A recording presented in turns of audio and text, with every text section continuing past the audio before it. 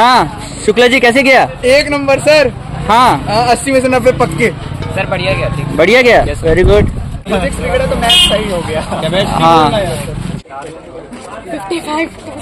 Fifty five to seventy means if M C Qs are correct then you will get seventy seventy possible नहीं है fifty to sixty अपना नाम बता दो। School का नाम? Anand Srivastava. R K V okay. Mohammad Arif R K Raj Singh are के हाँ तो चलो आज बताओ तुम लोग कैसा था तुम लोग मैथ्स का पेपर कैसा था? हार्ड था। टफ था सर मतलब था कुछ डरा था टफ भी था इजी भी था। मतलब दोनों मिक्स था। था। तो ओवरऑल क्या लग रहा है कि जो मतलब तुम लोगों का आज लास्ट पेपर था? हाँ, एक बचा एक कंप्यूटर कंप्यूटर बचा चलो तो पूरा एग्ज़ाम ओवरऑल अगर डिफिकल्टी लेवल देखोगे तो किस वे में तुम लोग देख सकते हो? परसेंट के लगभग पेपर था डिफ़िकल्ट फिजिक्स का तो काफ़ी डिफ़िकल्ट हाँ फिजिक्स का थोड़ा सुना है हाँ। और? और केमिस्ट्री वगैरह कैसे गया ठीक किया फिजिक्स फिजिक्स थोड़ा टफ था है ना? तो इसकी वजह से अब लग रहा है तुम लोग परसेंटेज फिर थोड़ा इफ़ेक्ट करेगा। करेगा है ना? कितना एक्सपेक्ट किए थे? तो आप उतर गया क्या? मिल जाएगा। उम्मीद रखो उम्मीद पे दुनिया कायम है है ना?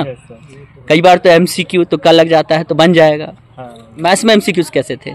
मैथ में थे सर ट्रिकी केस में सर पूरा एमसीक्यू हटा दिया था केस बेस से। अच्छा तो किस टाइप का क्वेश्चन आया था? क्वेश्चन वाले बारह मतलब- नंबर के क्वेश्चंस थे केस बेस में भी। अच्छा। केस बेस में भी एमसीक्यू नहीं था पूरा लिखना था केस। मतलब ये वो क्या बोलते वो फिरकी ले लिया?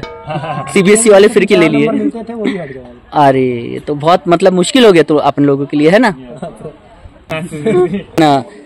Out of ten how can you rate it seven six to seven how how much you are expecting to get sixty five to seventy sixty five to seventy sixty five to seventy out of eighty about you fifty five is it Sir, if MCQ is correct, then 60 plus. Okay, come close and say maths is easy. Maths is easy. Thank you. Moderate moderate था Moderate था हाँ सब लोग moderate ही बोल रहे हैं है ना?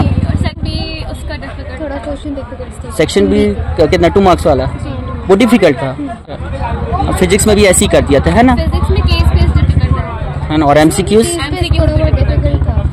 है ना कितना मिल जाएगा? है फिफ्टी फाइव सिक्सटी एमसीक्यू सही हो गए तो सेवेंटी भी मिल सकता है। है। ना?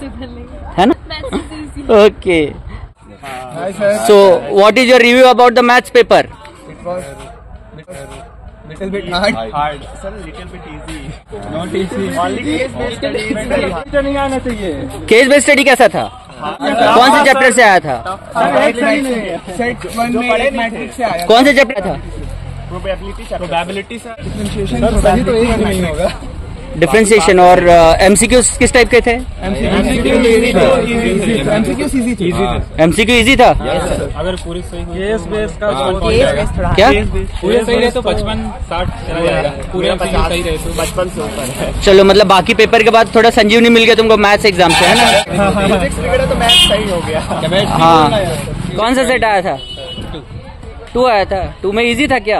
एमसीक्यू इजी थे हम्म। और सर केस बेस तो ऐसे और कैलकुलस वगैरह क्वेश्चंस मॉडरेट और ज़्यादा इजी था कैलकुलस तो मतलब ठीक है मतलब ओवरऑल एक्सपेक्टेशन के जैसा है। हाँ सर चलो। बेस बहुत ही ज़्यादा खराब निकला।